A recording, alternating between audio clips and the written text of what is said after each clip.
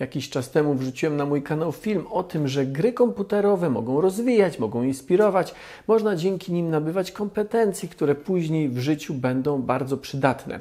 Obiecałem też, że tematowi gier poświęcę dwa filmy, no i dzisiaj jest ten drugi, bo dzisiaj opowiem o tym, co zrobić, żeby gry rzeczywiście wpływały na nasz rozwój, e, na rozwój dziecka e, w sposób pozytywny.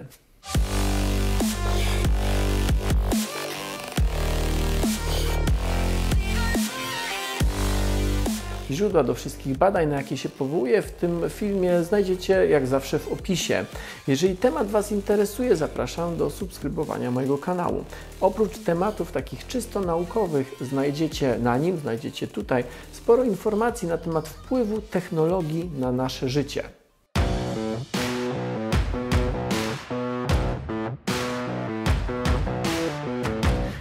Kilka miesięcy temu wpadłem na pomysł zrobienia serii filmów, które zatytułowałem Akademia Cyfrowego Rodzica.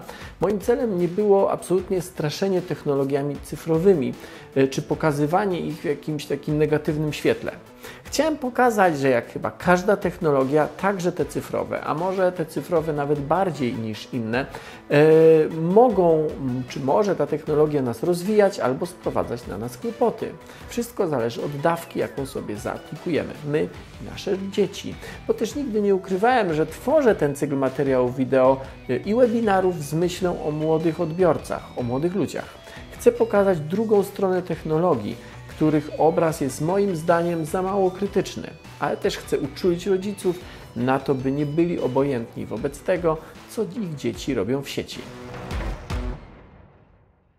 Temat gier jest szczególnie złożony. Jakie są plusy grania? Gry powodują powstawanie nowych połączeń w mózgu, poprawiają koordynację mięśniową i ułatwiają wizualizację obiektów trójwymiarowych. Poprawiają rozpoznawanie wzorców, koncentrację, percepcję i umiejętności poznawcze. Rozwijają wyobraźnię, uczą zarządzania zasobami i tworzenia strategii. To wszystko bardzo przydaje się w życiu. To wszystko to prawda. Ale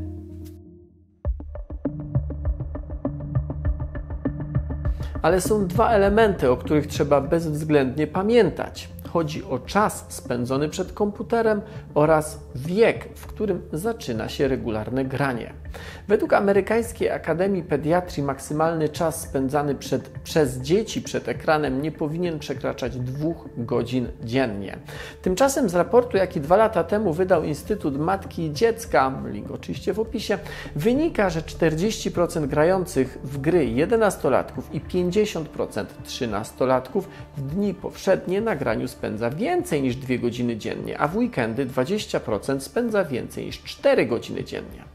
Tak długie siedzenie przed komputerem jest szkodliwe i wiąże się z otyłością, wadami postawy, dolegliwościami somatycznymi, ale także zaburzeniami wzroku i zaburzeniami rytmów dobowych, a przede wszystkim z szybko rosnącym wraz z czasem spędzonym przed ekranem ryzykiem uzależnienia.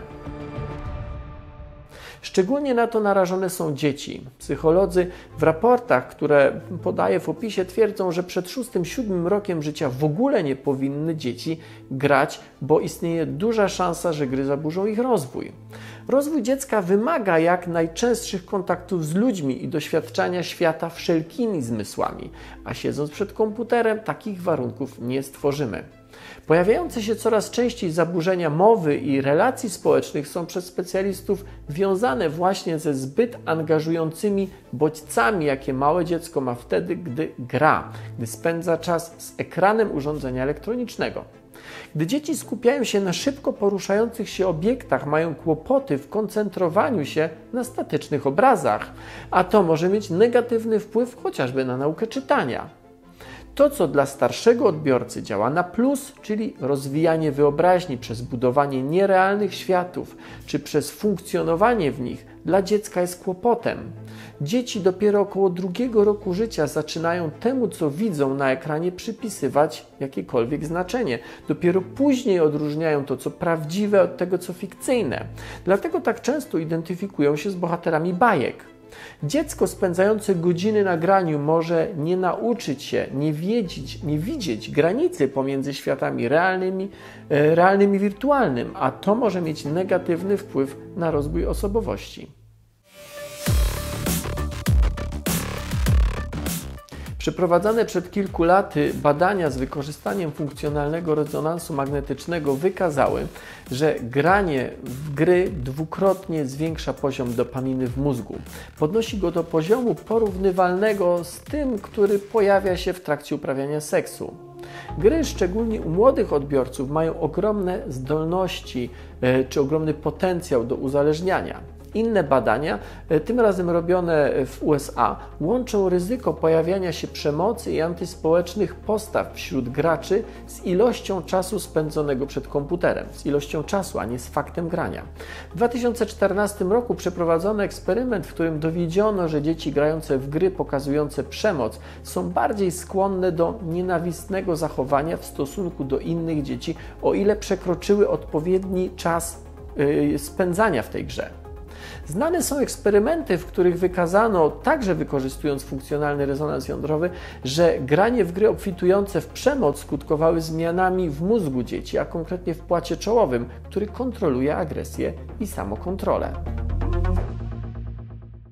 W poprzednim filmie o pozytywnych aspektach czy pozytywnym wpływie gier cytowałem badania przeprowadzone na Uniwersytecie w Glasgow, z których wynikało, że gry powodują, że młodzi ludzie szybciej adaptują się do nowych sytuacji, chętniej nawiązują relacje i są bardziej pomysłowi. Tyle tylko, że te badania były przeprowadzane na studentach. U dzieci efekt gier może być odwrotny. Gry nie ośmielają dzieci lękliwych i z niską samooceną. Przeciwnie, wykazano, że jeśli dziecko zbyt wiele czasu spędza na graniu, może się to przyczyniać do rozwoju lęków społecznych. I jeszcze jeden przykład, że ten sam czynnik y, u starszych nastolatków i u dzieci może działać y, całkowicie inaczej. Niektóre gry u nastolatków wyostrzają zmysły i pomagają koncentrować się na szczegółach, ale u małego dziecka bombardowanego bodźcami y, powodują, że jego próg uwagi podnosi się i potrzeba coraz mocniejszych bodźców, żeby zwrócić jego uwagę, by czymś go zainteresować. Często dla takiego dziecka świat analogowy, a nawet stare bajki są zbyt wolne, po prostu nudne. Niestety coraz bardziej stymulujące bodźce doprowadzają do stanów nerwicowych i nieumiejętności koncentracji.